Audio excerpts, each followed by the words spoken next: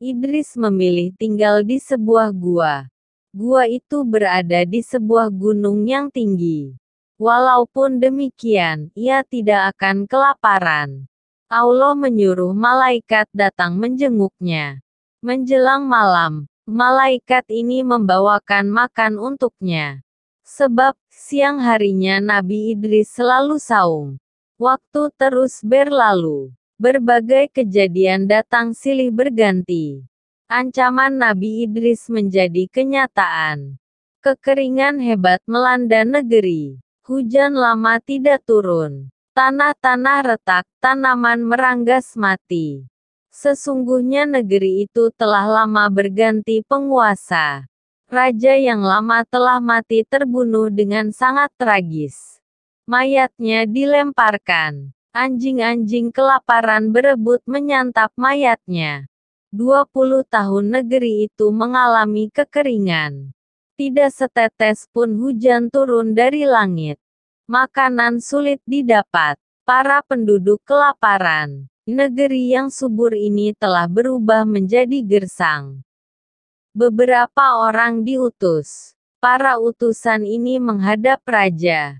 Di hadapan raja baru, mereka menyampaikan keluhan. Sekian lama kita mengalami kekeringan. Bencana ini disebabkan oleh kekejaman raja terdahulu. Nabi Idris memohon agar Allah tidak menurunkan hujan. Dan doanya menjadi kenyataan. Lama sudah hujan tak turun-turun. Andai saja, kita bisa menemukan Idris kita bisa meminta bantuannya. Sayang, tidak ada yang tahu di mana Nabi Idris berada. Lalu, apa yang bisa kita lakukan?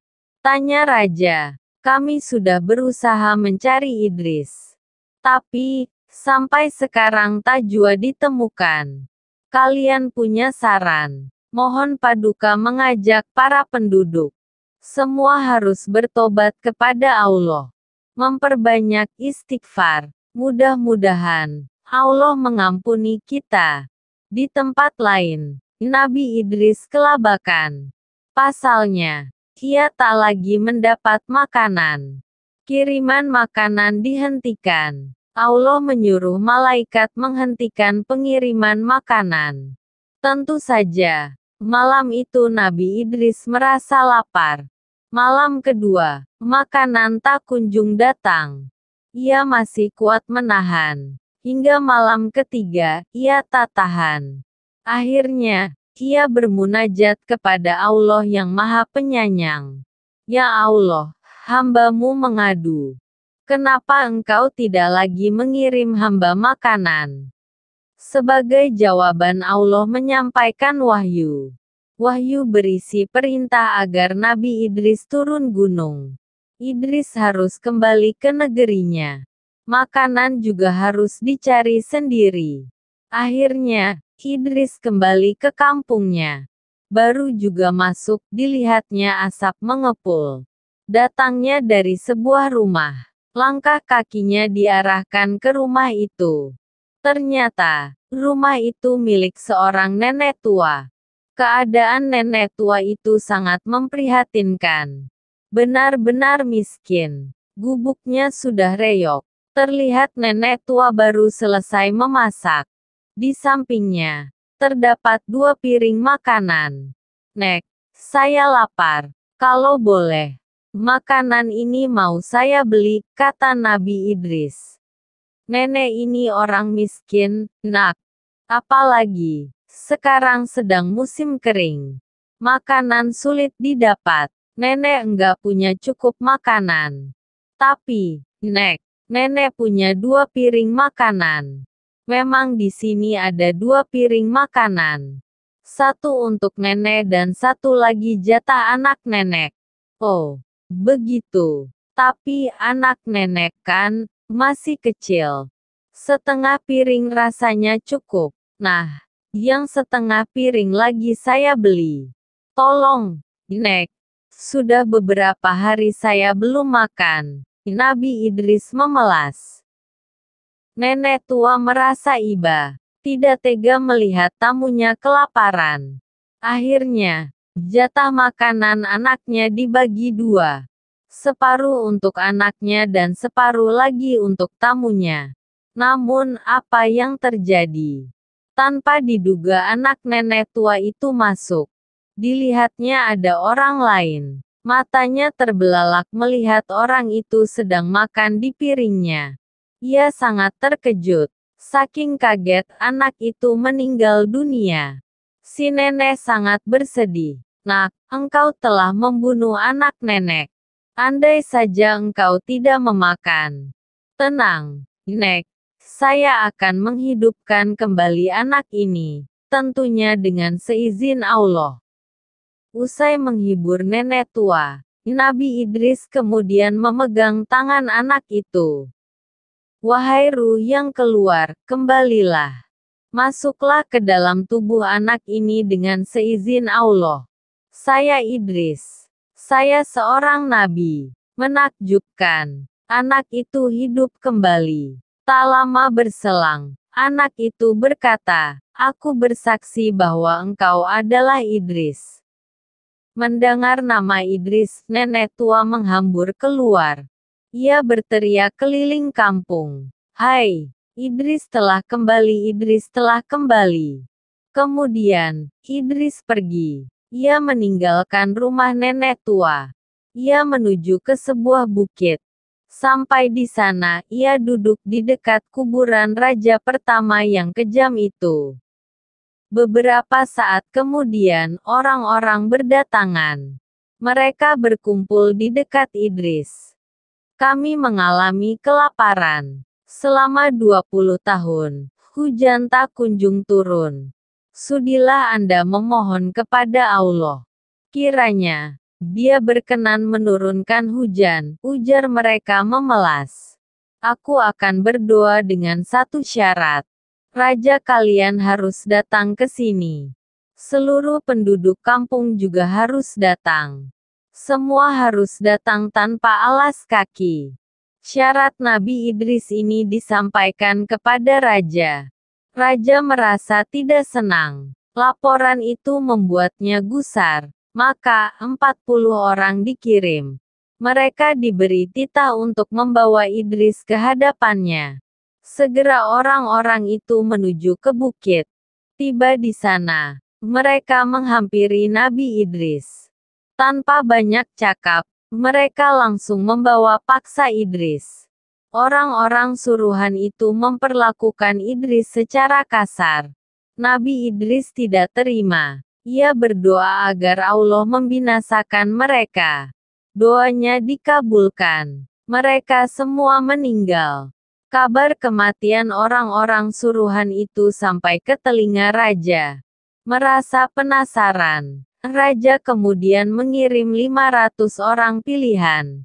Kali ini, mereka ditugasi untuk membujuk Nabi Idris agar mau datang ke istana.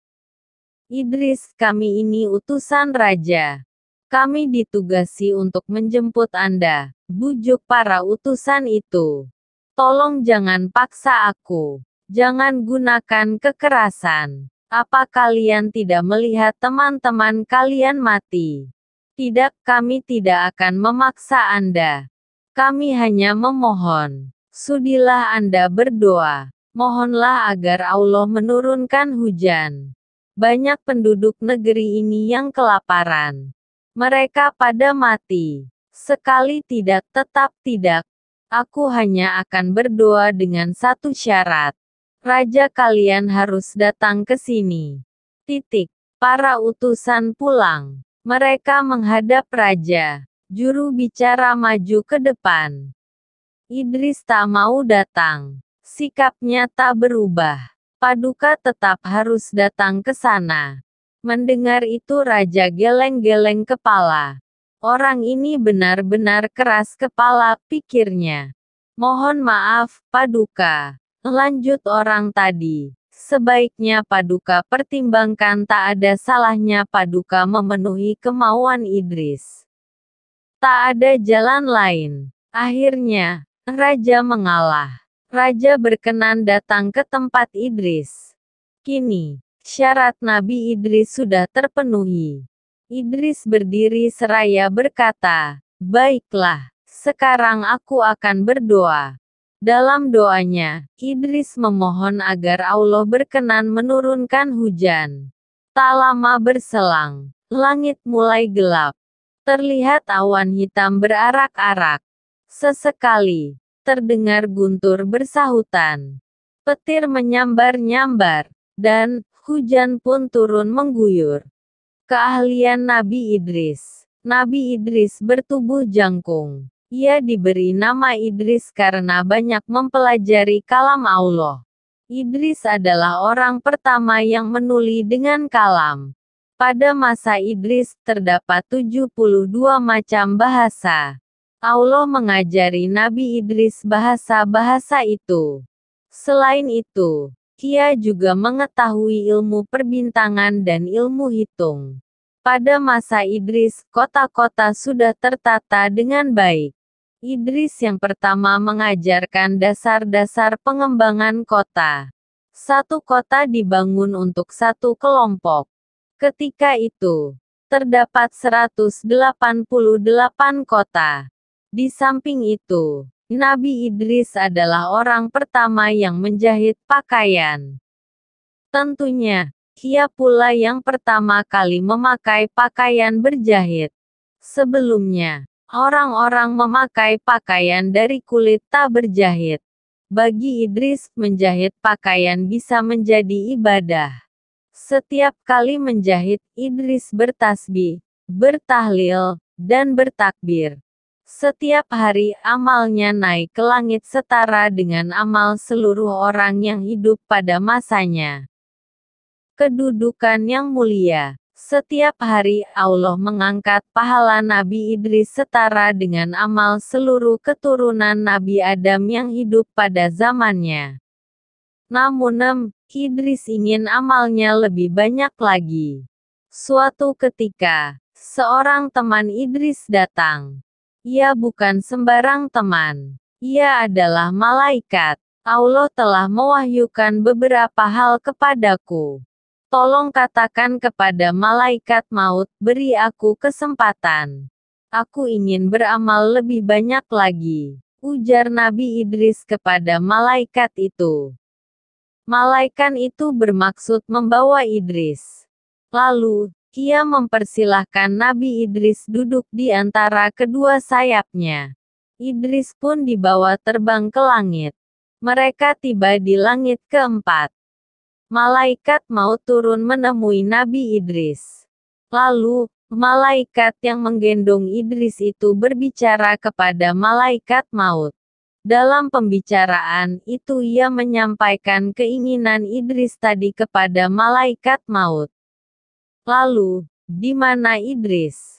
Malaikat maut bertanya. Dia ada di punggungku. Jawab malaikat yang menggendong Idris. Sungguh mengagumkan. Aku diutus untuk mencabut nyawa Idris di langit keempat ini. Tak lama berselang, malaikat maut pun menjalankan tugasnya. Ia mencabut nyawa Idris. Demikianlah Allah mengangkat Nabi Idris ke tempat yang tinggi. Subscribe video ini jika Anda setuju. Like video ini jika Anda senang mendengarnya. Terima kasih.